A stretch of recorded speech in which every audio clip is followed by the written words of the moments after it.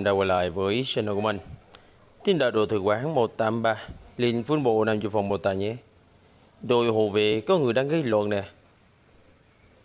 Tài thánh đấu hội trưởng, Nhã nhụ Tiêu thừa à, Đã xảy ra chuyện gì vậy? Ai đang làm loạn?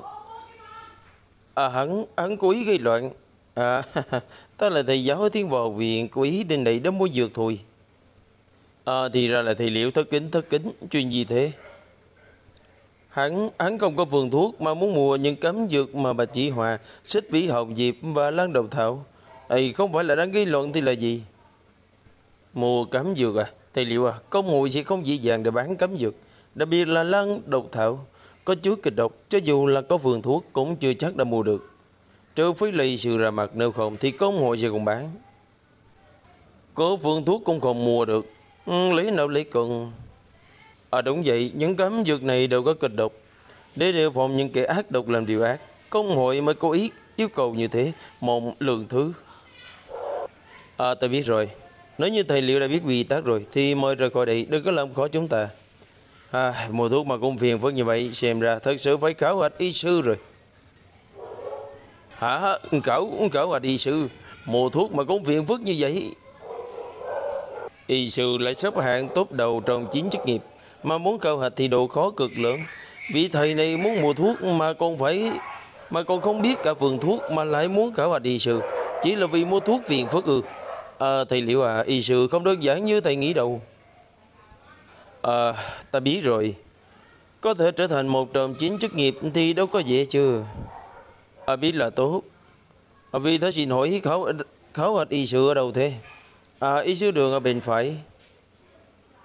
Đi rồi đó tà nhé Vì người chuẩn bị những dược liệu ta vừa nói Lát nữa khảo hạch xong y sư Ta sẽ định lấy đấy. À được ạ. Ý đi đã. Hình như có chỗ nào đó không đúng. À đúng thế. Hẳn còn phải là nên biết khó mình lùi sau. Sao lấy đi khảo hạch rồi? À đúng rồi gì hỏi. Khảo hạch danh sự à, có những bước nào thế? À, Còn phải xem thứ tình gì không? Khảo hạch đi sự cũng không khác gì so với chức nghiệp khác. Còn cấu hạch lý luận và từ tiễn y sư đường có thể chuyên phụ trách rồi. Chỉ còn vào là có người truyền môn dẫn người qua đó. À đó tạ à không gạch ký à không đúng à sao mà lại ai à, ta bỏ đi dù sao thì sau đấy cũng không thi được thì cũng tự mình rời khỏi thôi. Nhà như tiểu thừa à, ta tiếp tục tuần tra nhé.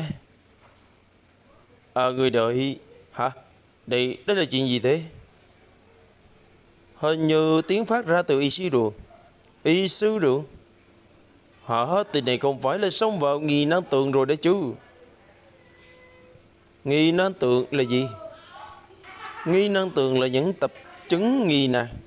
Chuyên được công hội ghi chép lại, Nhưng chỗ không thể giải quyết chứng bệnh, Thì công hội thu tập trăm năm nay Những chứng bệnh khó mà giải quyết được Mà chứng bệnh khó xử lý trong trăm năm nay Ừ là chứng bệnh mà ngay cả một hoàng tam tinh y sư ở thực lực mạnh nhất trong y đạo, ở trong phân bộ công hội dược sư của chúng ta, cũng không thể nào giải quyết được. Không chỉ có công hội không thể giải quyết được, mà trong năm năm nay, cả đời y sư của công hội chúng ta đều không giải quyết được. Cũng chính là vì như thế mới gọi là y nan đường. Vậy chỉ là những lời ghi chép những phức tạp chứng nghi nan thôi cũng đã sống vào rồi không phải sẽ phải cẩn thận như thế chưa Người không biết à Hàm nghĩa của nơi đó sao? Nghi nan tường, Này là hội trưởng công hội các đời mới có tư cách sống vào Chỉ còn tiến vào thì chính là thể hiện việc thạch đấu với hội trưởng, Một có tư chức vị hội trưởng. Thạch đấu với hội trưởng, Kế tượng chức vị hội trưởng sau Vậy người con điềm tĩnh thôi hà Còn còn mau đi chặn hắn lại. Vì nơi đó có một một khi đã mở ra Thì người khác không thể nào tiến vào. Vậy vậy nó đã là tập chứng nghi nan. Sẽ không ai ở trong công hội có thể giải quyết được Chứ dù trả lời sai cũng không biết được. Nếu như thật sự đơn giản như vậy thì dễ rồi, Mà nghi ngang tường là một linh khí đặc thù, Có thể kết nối với công hội. Một khi có người đáp lời, Thì sẽ có y sự tứ tình Thậm chí là ngũ tình đích thần điện kiểm nghiệm.